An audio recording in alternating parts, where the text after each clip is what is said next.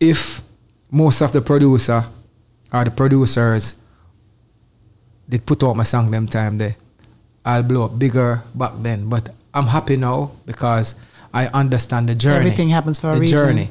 Because I've learned a lot.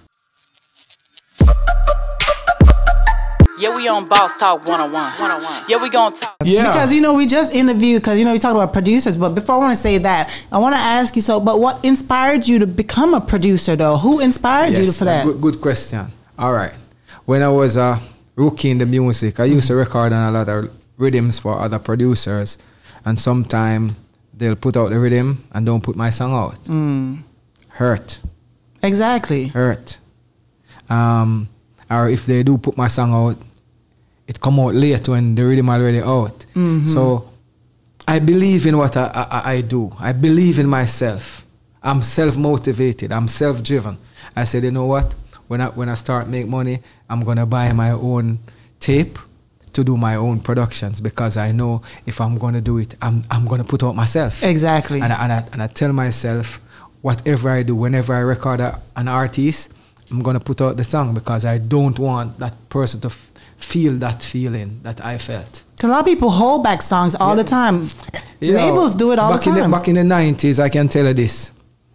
If most of the producer or the producers did put out my song them time there, I'll blow up bigger back then. But I'm happy now because I understand the journey. Everything happens for a the reason. journey.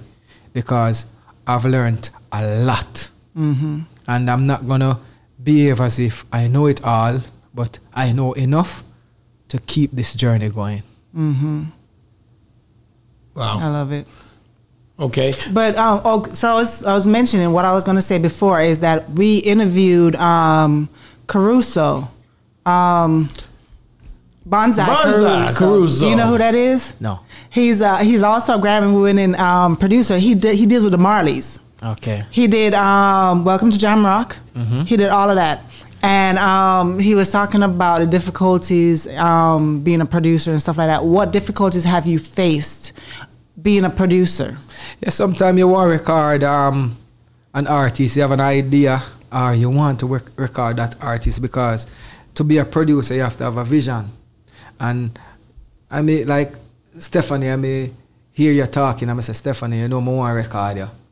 And you say, yo, I can't sing. Oh, me go sing. I say, I, I heard it. Come, come and check me. And maybe you come, maybe you not come. But like some of the established artists, you try to reach out. Them go and let them shit can make party. Mm-hmm, You know, them them them them a, them a behave like if the song it, mm-hmm. I'm the only one that that's gonna benefit. Mhm. And believe me, most of the time, it's the artist get most of the thing. Exactly. I am reaching out to you to put you on, a, on a- another hit record or a, or a semi hit record to keep your career going. But if it hit, if you get a hit, who gets paid more, the artist or And the, producer? artists get mo- more pay, man. oh, the artist get The paid more. artists get more pay because remember, I'm the producer. I'm not do- gonna do any show. Mm-hmm. Yeah, he, on an overall basis. In the an artist. overall- Yeah, Oh, okay. Because The artist, remember, yeah. the artists are gonna get the 20,000, 30,000, 50,000, 100,000. I'm the producer. I gotta just wait until that. I gotta it. wait until that song song sell or play. Yeah, we on Boss Talk 101. Yeah, we gonna talk.